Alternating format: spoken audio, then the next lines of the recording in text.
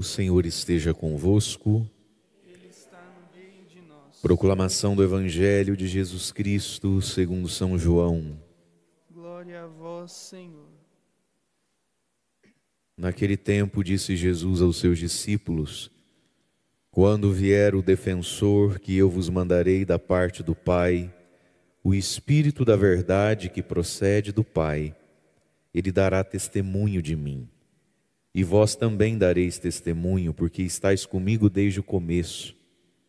Eu vos disse essas coisas para que a vossa fé não seja abalada.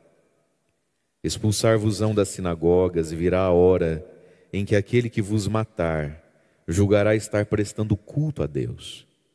Agirão assim porque não conheceram o Pai, nem a mim. Eu vos digo isto para que vos lembreis que eu o disse quando chegar a hora. Palavra da salvação. Glória a vós, Senhor.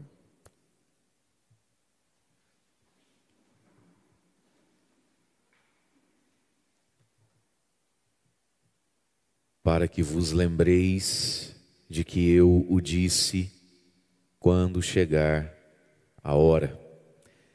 Irmãos e irmãs, das coisas mais difíceis na vida é quando chega a hora e dá branco, né? Acho que todo mundo já passou por isso, talvez. Chegou a hora da prova, chegou a hora de fazer lá o teste do Detran, chegou a hora da entrevista, e aí deu branco. Ah, deu branco. E Jesus está dizendo: para que vos lembreis, não pode dar branco, de que eu disse, de que eu avisei, de que eu profetizei, de que eu já expliquei por que, que as coisas são como são, quando chegar a hora. A hora é uma expressão do Evangelho de São João que fala da cruz de Jesus, a hora do Filho do Homem. E aí nós estamos aqui dentro desse discurso de Jesus de despedida na Santa Ceia, onde ele vai nos ensinando que ser discípulo dele é viver como ele. Começa ali no capítulo 13, quando Jesus, no início da Santa Ceia, vai fazer o lava-pés e dizer: Se eu fiz, façam vocês também. E aí depois ele vai, que foi o evangelho de ontem, falar: obedeçam os mandamentos como eu obedeço os mandamentos, permaneçam nos mandamentos como eu permaneço nos mandamentos, se amem uns aos outros como eu amo vocês. E agora então Jesus está nos associando a Ele, nos identificando a Ele, não só no lavar os pés uns dos outros, na observância dos mandamentos, no amor pelos irmãos, mas também nos identificando na hora.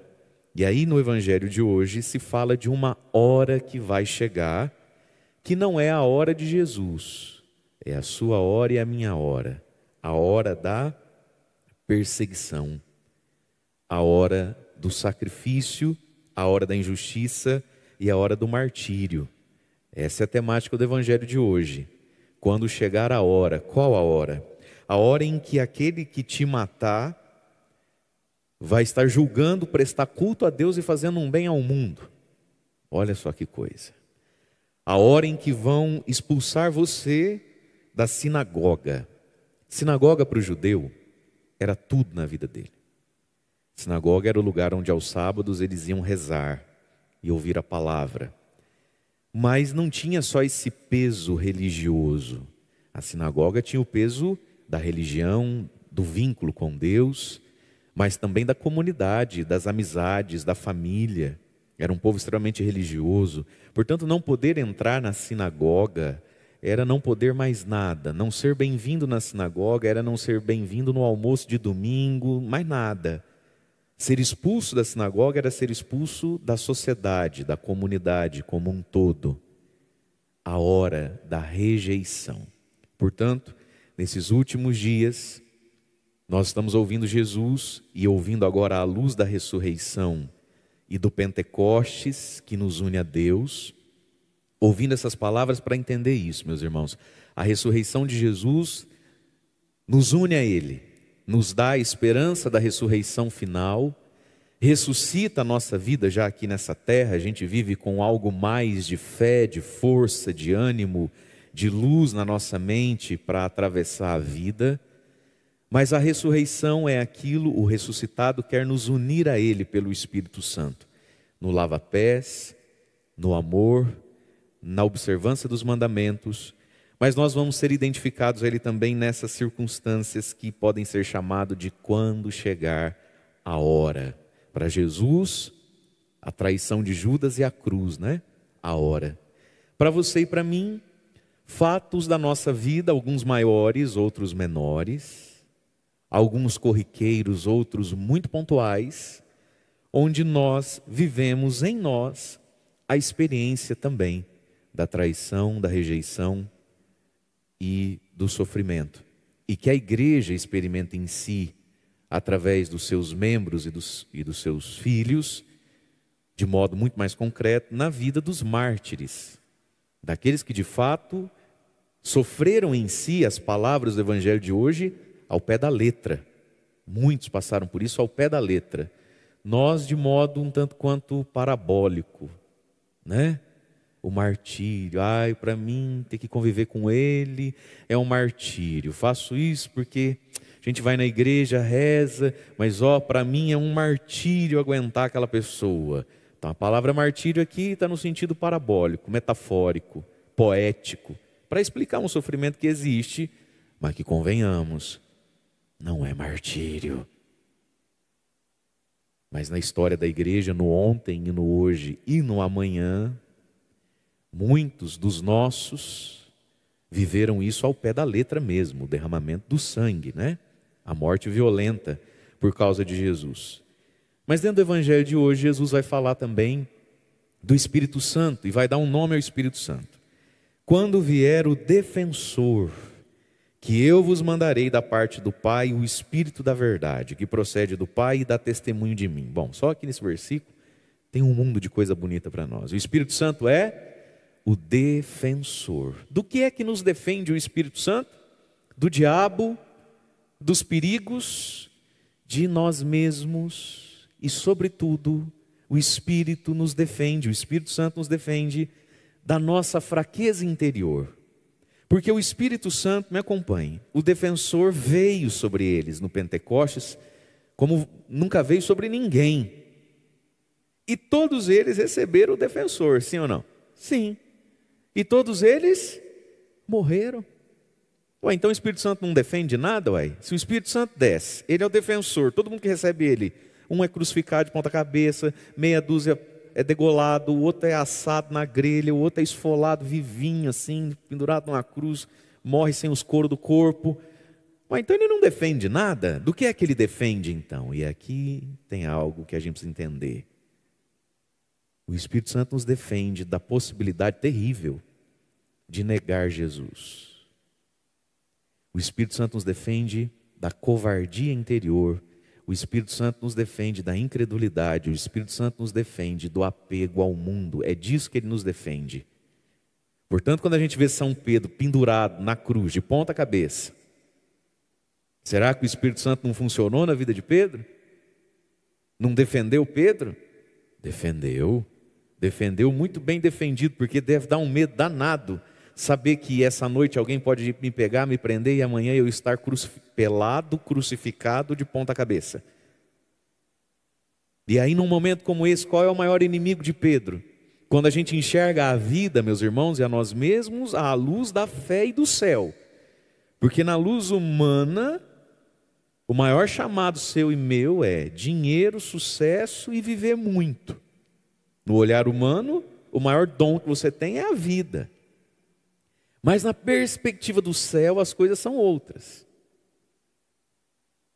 Portanto, quando a gente vê lá Pedro, nu, pregado numa cruz de ponta cabeça, quando a gente vê Tiago e Paulo com a espada aqui, cortando o pescoço, quando a gente vê São João sendo jogado dentro de um tacho de óleo fervente,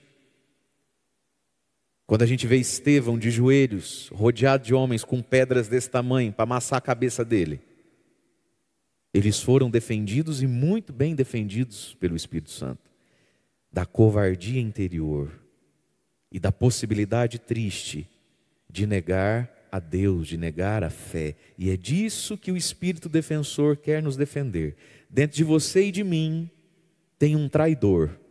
Tem alguém que promete, mas não cumpre. Não foi assim com Pedro? Senhor, por que, que eu não posso ir com o Senhor por onde o Senhor vai? E Jesus disse: Pedro, onde eu vou hoje você não aguenta ir. Senhor, darei minha vida por ti. Se preciso for, eu morro contigo. Jesus olhou nos olhos dele, né? Foi, Pedro, Pedro, você é um amor, querido. Só que hoje, antes do Cocoricó cantar três vezes, você vai ter me negado três vezes já.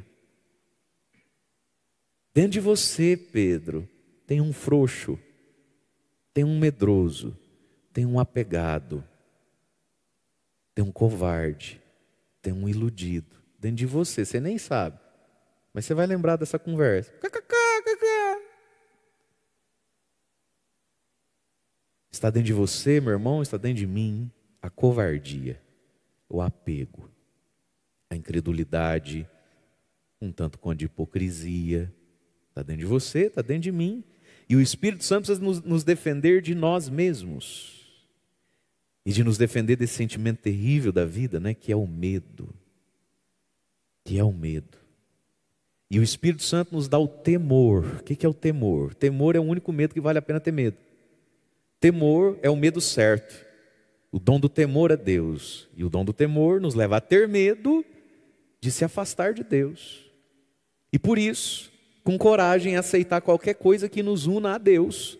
No caso de Pedro e desses aqui que ouviram, que estavam com Jesus, o martírio.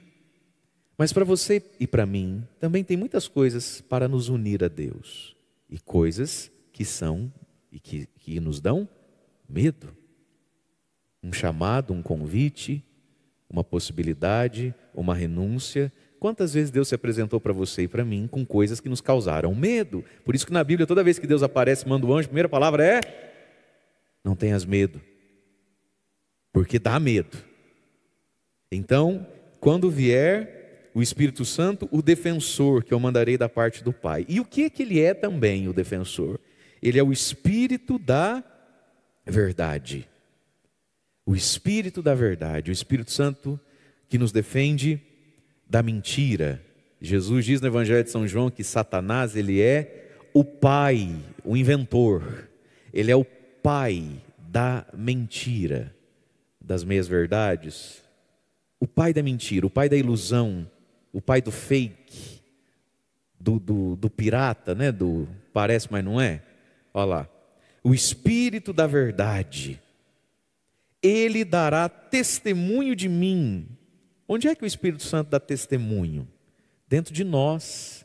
Essa voz interior, essa convicção interior a respeito da fé que você e eu temos. E como é bonito isso, meus irmãos.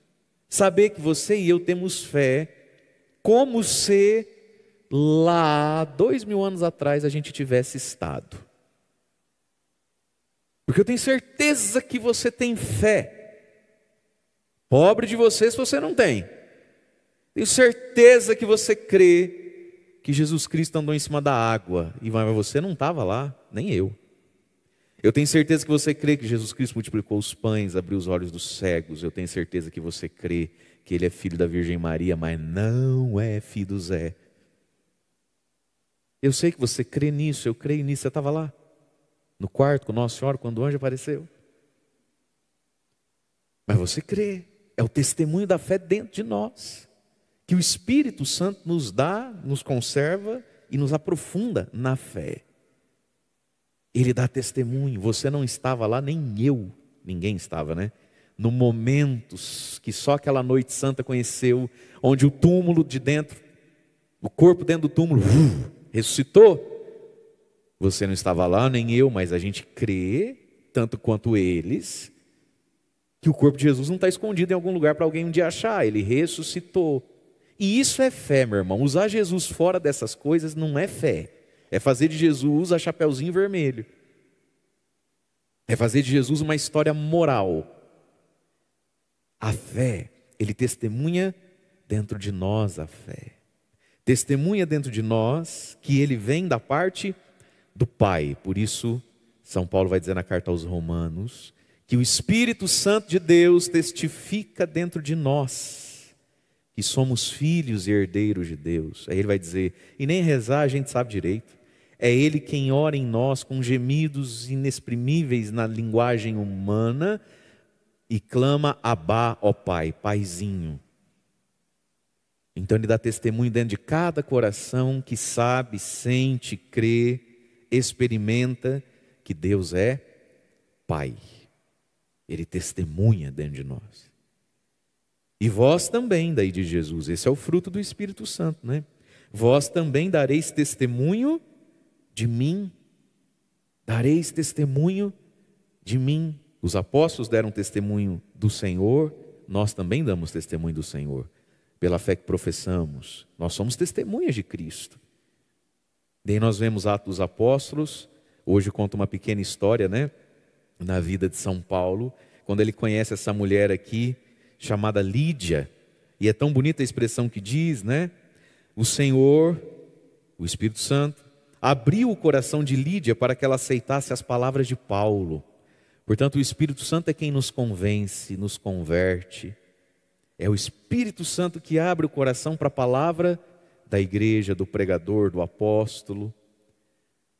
Por isso, quem se propõe a evangelizar, quem se propõe a dar conselho para os outros, quem se propõe a querer dar uma catequese, quem se propõe a querer ensinar algo de Deus para o filho, para o netinho, seja lá o que for, precisa ser amigo do Espírito Santo e invocar o Espírito Santo. A sabedoria e a unção dele. Porque o que, que diz a palavra ali? Deus abriu o coração da Lídia. Não foi Paulo que abriu o coração dela. Foi Deus, é uma graça, é a ação do Espírito Santo. Paulo pregou, ele tem que pregar. Paulo tem que se aproximar, diz lá que era um sábado, né? Eles estão na porta da cidade, resolvem ir pertinho do rio, devia estar calor, onde parecia haver oração. Sentados, começamos a falar com algumas mulheres que estavam ali reunidas, e olha o que é a fé, esse negócio é um mistério, né? Algumas mulheres ali reunidas, uma delas chamada Lídia. Por que, que Lídia entrou para a história? Porque possivelmente, na barranca daquele rio, só a Lídia se salvou. Porque nas águas daquele rio onde elas lavavam as roupas, só Lídia lavou a alma na água do batismo. E as outras? Pelo visto, não funcionou o negócio. Porque diz lá, olha que interessante, que Lídia era comerciante de púrpura e ela era de Tiatira. Né? No fundo, acreditava em Deus e escutava com atenção. Olha o importante escutar com atenção, hein? Por isso que o diabo adora a distração. E por isso que para Deus, meus irmãos, a gente se prepara. Não é? A gente se prepara para Deus. A gente não chega abrindo Bíblia. A gente não chega nos, nos atropelos. A gente se prepara. Ó, é igual essa missa das seis da manhã sobre tudo. Você precisa se preparar para ela. Você precisa ver bem teu sono, teus horários. É ou não é verdade? Porque amanhã tem missa seis da manhã. E a missa das seis da manhã não é seis da manhã. Para ser seis da manhã, que hora que você tem que acordar?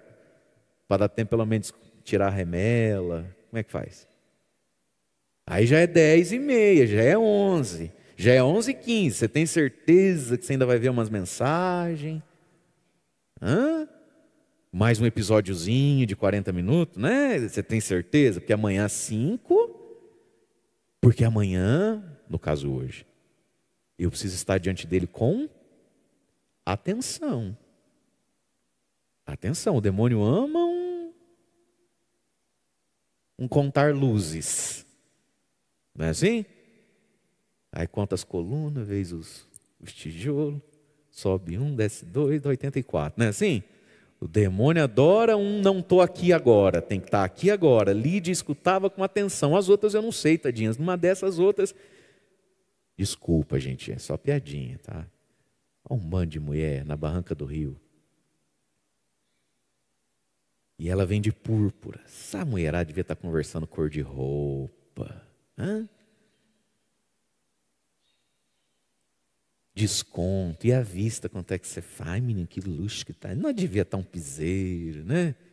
Uma outra querendo rezar, Paulo se aproxima. E teve mulher que nem viu Paulo, nem escutou Paulo, porque a nossa cabeça às vezes está a mil, não é verdade? Por isso que para Deus a gente se prepara. E sem se preparar, às vezes muito pouco vale estar diante de Deus, porque você perde tudo. Tem gente que consegue perder tudo, tem gente que consegue sair da igreja perguntando se teve padre. Que, que o padre falou na missa hoje? Me, teve padre na missa hoje? Eu não sei se teve, eu fui. Não é assim? Ó, oh, meu irmão, se a gente não se prepara um pouquinho para Deus, claro que às vezes é com muito esforço, mas se a gente não, pro, não programa a nossa vida para os nossos encontros com Deus, muito pouco vale os nossos encontros com Deus. Não é assim? Eu aprendi isso em casa.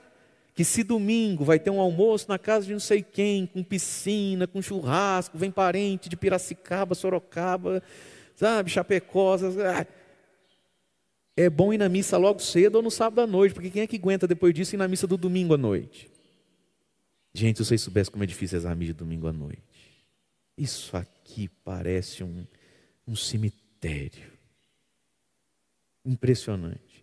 Olha, tem missa de domingo à noite que se soma, e lota, né? Soma isso tudo lotado. As respostas da missa, os cânticos da missa, não dá o volume que os seis dão aqui, seis da manhã. Povo morto. Por quê? Está tudo cozido. Tudo cozido. Tudo cozido. Que macarrão gorduroso, né? Aquele coloral, maionese, aquela costela gorda, aquele frango, aquela farofa, não é assim? Sobremesa, cerveja, refrigerante, vem arrotando para mim. Você vê que a pessoa está balofuda na cadeira, assim, ela chega a. Tá... Você vê que ela está dopada, né? Dopada. Muitos, muitos. Olha, tem domingo à noite que o negócio você faz Jesus, amado. É o preceito mesmo, né? Ó, tem gente que se a gente colocasse missa domingo, 11 da noite, ele vinha. É a última coisa. Eu sei que tem gente que vem porque gosta, porque tem que acordar cedo, cuidar da casa da Ana. Não precisa ofender, não. Não precisa ofender. Tu te ofende. Tu te causa dor. Você é chata. Mas você está entendendo. Nós vamos nos preparar para Deus. Eu aprendi assim em casa, final de semana vai ter o quê? Para eu ir no meu melhor momento. Para eu ir inteiro. Como a nossa queridíssima Lídia. Conseguiu estar inteira na presença de Paulo, escutava com atenção. E Deus deu a graça, né? Deus abriu o coração de Lídia. É o protagonismo do Espírito Santo. Vamos voltar no Evangelho então. É Paulo dando testemunho é Paulo pregando, é o apóstolo, é aquele que crê com a ajuda do Espírito Santo. E aí então Jesus vai nos dizer da nossa hora, e falando da importância do Espírito Santo, para quê?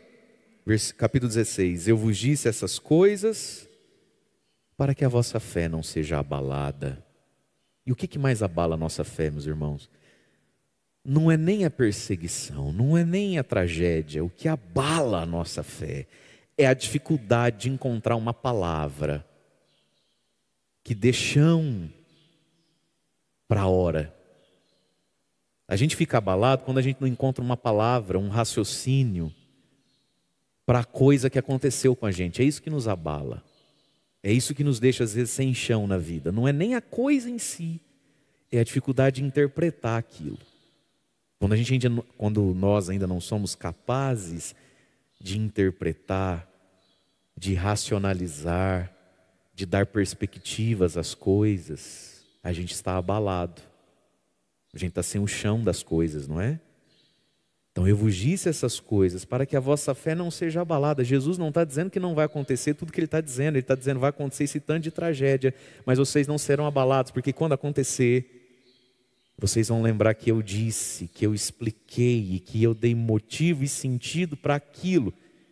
Portanto, vocês não vão ficar abalados. Vão ficar crucificado, pelado de ponta cabeça, mas abalado na fé não. Vai ficar com a espada no pescoço, mas abalado não. Vai ser jogado dentro do tacho de óleo, igual um porquinho pururuca para virar toicinho lá mas abalado não.